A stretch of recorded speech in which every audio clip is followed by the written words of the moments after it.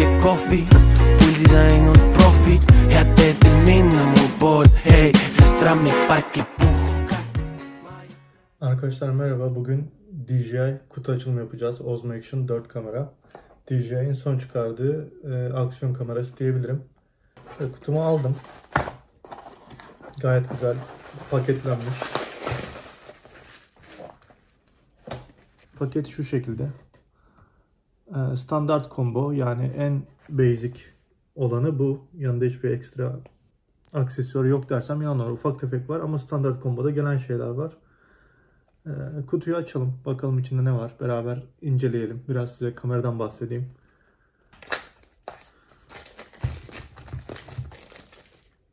Hmm, Letonya'dan gelmiş. Ben şu an Estonya'dayım. Sipariş verdim çünkü yurt dışından gelecek yazıyordu. Ee, yurt dışı dediği yer de Letonya'ymış. 3 saatlik yer. Açalım kutuyu. Kutu dolu gördüğünüz gibi.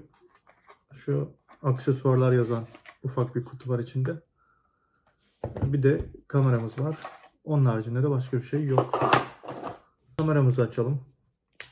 Kamera da baya güzel bu arada paketlenmiş. Şöyle açtık. Kameramız şu şekilde.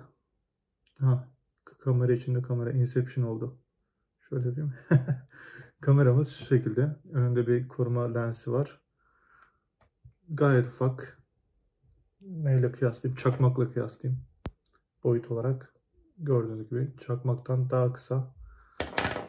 Lensimizi üzerinde bir uyarı var. Diyor ki yani bu kamera şu an bu haliyle su geçirmez. Ama şu lensi çıkardığınız zaman su geçirmezliği kayboluyor. Ona onunla ilgili bir uyarı yazmışlar İngilizce olarak. Yani bu lensi döndürüp çıkarabiliyorsunuz. Şu an çıkaramadım. Birazdan denerim. Onu çıkardığınız an yani bu ekstra, ekstra öndeki ışık kırılmalarını, yansımaları e, önlüyor. Daha güzel bir görüntü sağlıyor ama dediğim gibi su geçirmezliği kayboluyor. Kamerayı açacağız. Action 3'te aynı görüntü zaten. Sadece önünde 4 yerine 3 yerine 4 yazıyor. Yani boyut falan her şey aynı diyebiliyorum. Pek bir farkı yok. Hatta ben Action 3 alacaktım. Action 3 almak için girmiştim. Baktım Action 4 çıkmış. Yani çok fiyat farkı da yok. İyi o zaman Action 4 alayım dedim aksesuarları açalım. Önce USB kablomuz ve şu vidamız geliyor.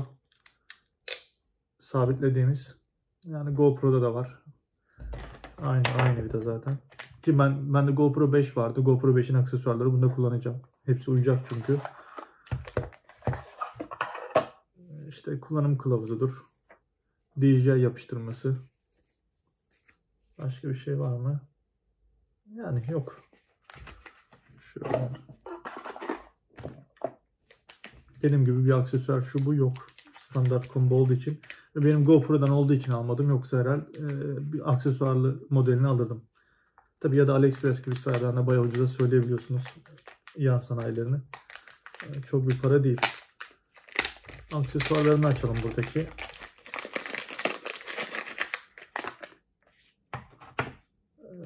Ha, Şurada ufak bir paket var. Önce bunu açalım. Neymiş bu? Ha, bir tane daha şey var. Lens var burada. Bu lensin üzerinde de diyor ki yani eğer diyor işte şu önündeki lens diyor zarar gördüyse, hasar aldıysa o bunu geçici olarak takın diyor koruma amaçlı. Ama diyor bu su geçirmez değildir. Aklınızda bulundurun diyor. Aha ben bataryası içinde olur demiştim. Bataryası ayrı gelmiş. O zaman hemen içine bir bakalım. Nasıl açıyoruz? Ben de ilk defa açacağım. Şöyle mi? Heh, aşağı doğru kaydırarak yani şöyle. Tuşu var. Aşağı doğru kaydırıp ve açtık. İçi gördüğünüz gibi bomboş batarya alanı.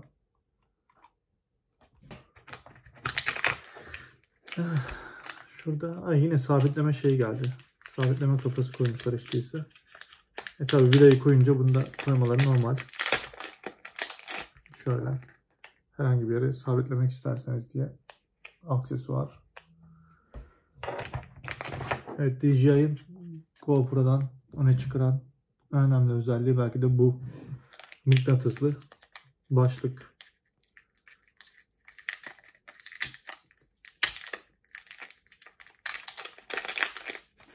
Abi hepsini ayrı ayrı kutuya gerek yoktu bu arada yani.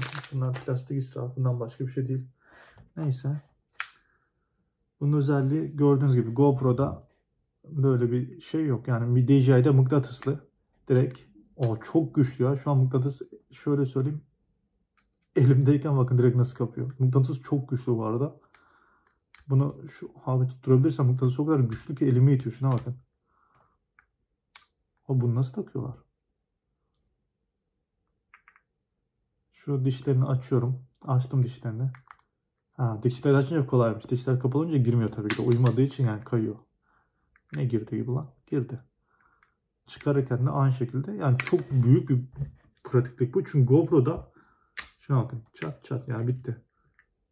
Mıknatıs çok güçlü var. Yani ben bu kadar güçlü bir şey beklemiyordum. Yani diyordum ki ulan belki e, şiddetli rüzgarda falan düşer. İmkanı yok düşmez. Ya, çok güçlü ya. Şöyle bir adam akıllı oturtayım tamam mı? Tam oturdu şu an. Düşme şansı var mı? Yok yok düşme şansı yok bunun. Çok güzel. Hemen şöyle çat çat bitti.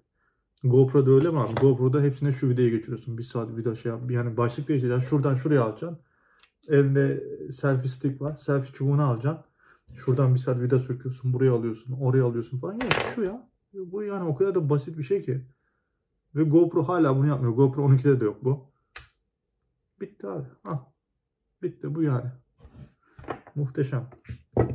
Bir tane koruma kabı. Çok kaliteli bu arada. Çok sert plastik. Şuradan açarak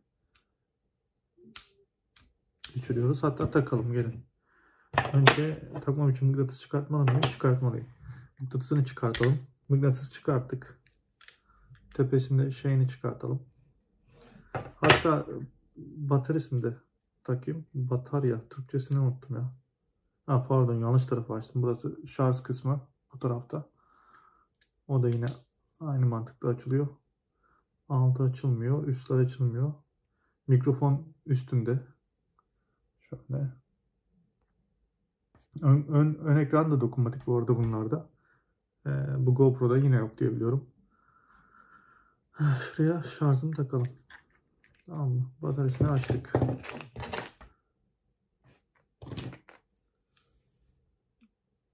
Yani bir de şuna değinmek istiyorum. Yine GoPro ile aynı fiyatta bu arada GoPro 12 ile Black Friday bu kara cumadan dolayı. Niye bunu aldım? Şu işte ya şu çünkü 20 dakikada %80 şarj olabiliyor. GoPro'nun şarj olması 3 saat sürüyor, 2-3 saat sürüyor. Şarj ömrü neredeyse aynı kağıt üzerinde aynı gözükse de GoPro'yu neredeyse ikiye katlıyor öyle söyleyeyim. Ve soğuk havalarda hiç sıkıntısız çalışıyor ve GoPro gibi ısınma problemleri yok. Almamdaki en büyük sebeplerden biri bu. Öyle takalım. Tamam taktık. Artık kamera incelemesine mi geçsek öyle yapalım. Gelin hızlıca cihazdan bahsedeyim. Hemen yan tuş var değil mi bahsetmedim. Bir yanda tuş var bir de üstte tuş. iki tane tuşu var. Bu hızlı menü tuşu. Bu da video başlatıp durdurma tuşu. Tuşları oldukça sert bu arada. Ee, şöyle şu an hızlı menüde ben fotoğraf, video ve yavaş çekim ekledim. Ha timelapse da koymuşum. Hepsini eklemişim. HD kart yok şu anda içinde. Video özelliklerine baktığımızda 1080p, 2.7 ve 4K çözünürlüklerimiz var. Ben 2.7 50 Hz'de kullanacağım sanırım. 50 FPS'te kullanacağım. Aynen. Bu, burada ekstra özellikler var. Kaydı döngüye sok. Kayıt öncesi off. Off kalsın bu. Mesela Rocksteady bu sabitleme şeyi, stabilizasyon. Off dediğimizde balık gözü gibi oluyor. Ekran oldukça geniş. Rocksteady dediğimizde biraz daha zoomluyor içeriye. Rocksteady Plus dediğimizde iyice zoomluyor. Ben Rocksteady'de kalacağım sanırım. Daha tam emin değilim. Evet şöyle profesyonel ayarlara baktığımızda mikrofon, kanal, stereo, gürültü azaltma, standart dedik. Burada pozlama görebilirsiniz. Ee, ben bunları hiç anlamıyorum. Hiç ellemeyeceğim. Auto'da gördüğünüz gibi. Beyaz dengesi otomatik. Renk normal. D-Log'a geçmiyorum. Çünkü D-Log anlayacak, yapacak kadar da Premiere Pro'da, Pro'dan anlamıyorum. Görüntü ayarları varsayılan da portrait oluyormuş. Özel dersek keskinlik, gürültü azaltma gibi şeyler var. Gerek yok benim için şu an. Düşük ışıkta görüntü iyileştirme kapalı. Çünkü o zaman e, stabilizasyon özelliği kayboluyor açarsanız. Şu zoom oluyor mu? Dijital yakınlaştırma ayarlamak için basılı tutun. Basalım abi. Evet gördüğünüz gibi zoom da oluyor. Daha önceden böyle bir şey yoktu. Aksiyon kameralarında. Güzel bir özellik. Ee, genel menüye bakarsak burada bir profilimiz var. Buraya her ayarları ayrı ayrı profiller adına kaydedebilirsiniz. Hızlı geçiş tuşumuz var. Ses komutu, ekran geçişi, fotoğraf, video her şeyi ekledim ben buraya. Parlaklığımız 47'de. Ayarlarda böyle bir şey var. Ses kontrolü var. Mesela burada start recording dediğimizde otomatik videoya başlıyor. Take foto dediğimizde fotoğraf çekiyor. Shutdown dediğimizde kamerayı kapatıyor. Bu gayet güzel bir özellik. Başka ne var yenilik? Bakalım. Yani yenilik dediğime bakmayın. Ben en son GoPro 5 falan kullandım. Öyle düşünün. Daha stabilizasyon olmadığı zamanlar. Kablosuz bağlantı, video sıkıştırma, verimlilik, uyumluluk. Verimlilikte kalsın. Cihazın sesini kapattım. Çok yüksek sesi var. Kılavuz çizgimiz kalsın. Zaman kodu var. Ne işe yaradığını ben bilmiyorum. Belki bilenler vardır. Yani çok da e, işte leddir, şudur budur, ıvır zıvır ufak tefek ayarlar açıkçası. Başka ne var? Burada ekran döndürme, kilitleme, sesli komut, fotoğraflar. Yani şöyle bir şeyden bahsetmek istiyorum. Yani bildiğiniz gibi şu alta mıknatıslı bir bağlama var değil mi? Ben bunu yine takamıyorum. Bunun yönü mü var acaba? Şuna bak elimi itiyor. Şöyle mi ya bunun yönü? Abi böyle. DJI yazısı öne bakacak. Diğer taraf itiyor. Tamam. Evet. Ama şöyle bir şey var. Bu koruma kılıfı değil mi? Koruma kılıfında yanlarda da yine mıknatıs için şey var. İtiyor. Şimdi diğer tarafı deneyeyim buraya. evet oldu. Yani koruma kılıfına dik takıp TikTok, Instagram gibi şeyler için de dik kayıt yapabilirsiniz. İlk defa burada görüyorum. Çık abi çok mıknatısı deli dehşet bir şey. Diğer deli dehşet. Diğer değinmek istediğim konu kutunun üzerine bakmamıştık. Mesela 1.3 inçlik lensi var. Şu an aksiyon kamerada bulunan en büyük lens. Herhangi bir aksiyon kamerasında bulunan. 10 bit renk ayarı var. Demin bahsettiğim gibi renk işlerini anlayanlar için muhteşem. Deep Freeze soğuğa dayanıklı eksi 20 artı 50 sıcaklıklar arasında çalışıyor. 4K 120 FPS çekiyor. Hızlı dönme şeyi var yine. Kendi özelliği var. Şöyle açınca döndüğünüz tarafa doğru çekiyor. 360 derece horizon steady var. 18 metreye kadar su geçirmez ve çift dokunmatik ekran. Yani iki tarafı da dokunmatik. Bu yine GoPro'da falan yok. İçindekiler göstermiştik zaten. Yazıyor üzerinde yine. Bataryası, kamerası, koruma kılıfı. USB kablosu C-Type ama iki tarafı da C-Type. Yani şimdi evdeki tüm adaptörler benim USB adaptörü. Yani C-Type geçtiği bir adaptörüm yok benim. Sadece bilgisayardan şarj edebilirim. Onun için eski telefonlarımın birindeki USB kablosuyla şarj ettim. 1 saat 15 dakikada falan full şarj oldu. 25-30 dakikada %80'leri buldu öyle söyleyeyim. Muhteşem hızlı bir şarj. Benim için ekstra batarya falan hiç gerek yok. 160 dakikada bataryası gidiyor. Yazıyor kağıtta. Yani YouTube'daki videolarda da ben gördüğüm kadarıyla öyle hiçbir sıkıntı yok. Dediğim gibi GoPro ile aynı Şuradan kendimi gösterip Inception yapayım bir daha. Şöyle. Dediğim gibi GoPro ile aynı fiyat. Şu an aynı fiyat. Ama ben bunu tercih ettim. Bataryasından ve de GoPro gibi kronik sıkıntılarının şu ana kadar olmamasından dolayı. Gerçi DJI 3'te bir sıkıntı vardı ama yazılımla çözdüler. Yani o konuda da cihazların arkasındalar. Ee, umarım memnun kalırım. Dışarıdaki çekimlere bakalım. Biraz da gidelim dışarıda çekim yapalım. E, hatta hava çok soğuk. Eksi 10 derece şu an hava. Bir bakalım nasıl soğukta. Oradan devam edelim. Görüşmek üzere. Selamlar. Şu an kamerayı dışarıda ilk açışımız. Hava eksi 5 falan. Arabayı temizleyeceğiz. Camlar buz tutmuş. Be careful here. Don't do so much. You will scratch the paint. Bu fırçalar boyaları mahvediyor. Şu an içinde yavaş bir SD kart var. Onun için çekim durabilir uyarısı alıyorum ama hala devam ediyor.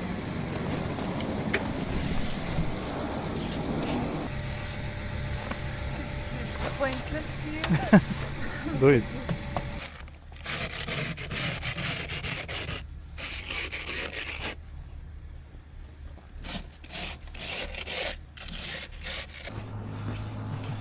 Şu an 2.7K 50 FPS'te çekiyorum.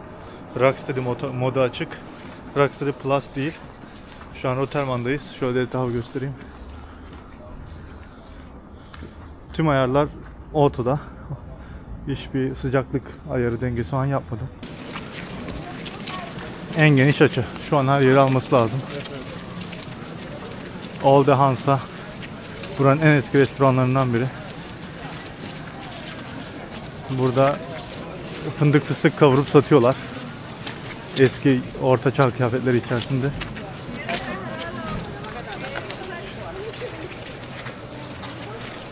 Şu an gayet geniş gözüküyor kameranın ekranında. Yani evet çok çok geniş hatta şu an.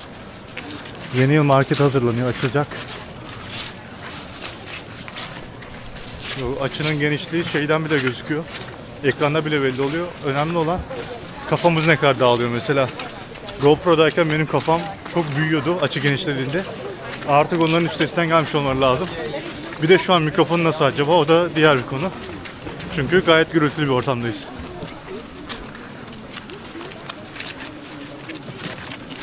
Yani eğer burada mikrofon beni gayet güzel alıyorsa ekstra mikrofona gerek yoktur bence. Tabii hava rüzgar değil. Onda e, göz önünde bulundurmak lazım. Yani insanlar kayıyor.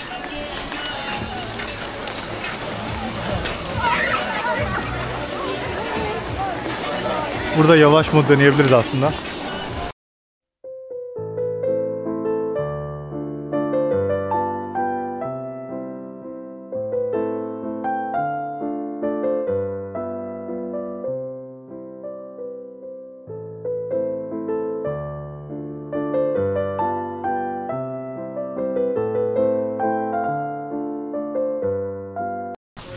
Geniş modda stabilizasyona bir de şöyle bakabiliriz. Elimde kamerayı sallayarak. Ya da şu an smooth mu geçiyor yoksa şu an baya sallıyorum kamerayı. Şöyle sallayayım biraz daha. Arkadaşlar gelin şimdi bir haftadır e, karların altında olan arabamı temizleyelim. Time lapse yapalım. Bakalım nasıl bir sonuç verecek.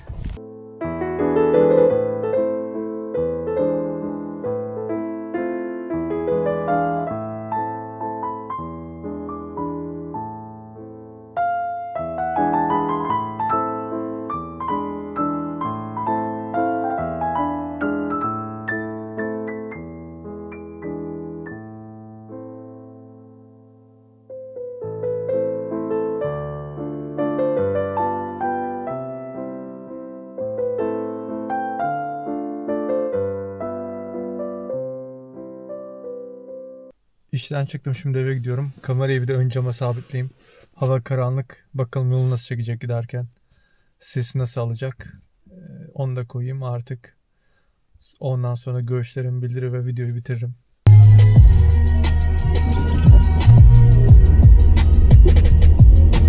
Teşekkürüm isyanımda cesaretime Gösterdi villaları da nezareti de Sanki şeytan hep yanımda Bütün kavgam onunla sanki hapsoldum Filmin en aksiyonlu sahnesine.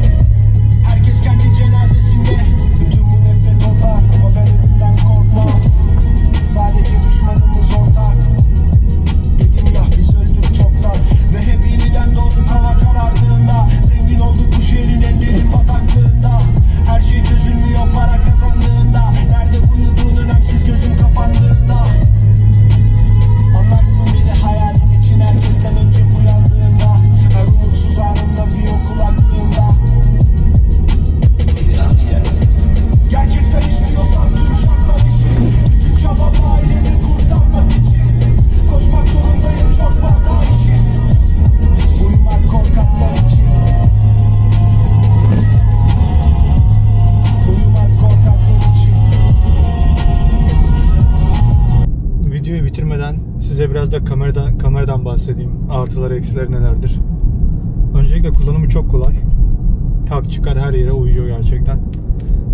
Bataryası güzel. Ee, soğukta çalışıyor. Eksi 10'larda, eksi 15'lerde kullandım. Sıkıntısız çalışıyor. Şarj süresi kısa. Bir saatte tamamen şarj oluyor. Modlar, yani kullanımı kolay genel olarak. Acemi birisi için de kolay. Ee, telefonda uygulaması var. Uygulaması da gayet her şeyi kolaylaştırıyor. Ondan sonra ben tüm videolarımı 2.7K 50 FPS'te çektim. Beklediğimden iyi. Ses kalitesi özellikle beklediğimden çok iyi. Mikrofon dışarıda gürültülü ortamlarda bile güzel bir kalite sunuyor. Ee, içindeki SD kart bayağı yavaş eski bir SD kart. Hatta uyarı da veriyordu kullanırken. Ama ona rağmen görüyorum ki çekimlerde hiçbir sorun olmamış. Sürekli de azdı bir SD karta geçin yazıyordu.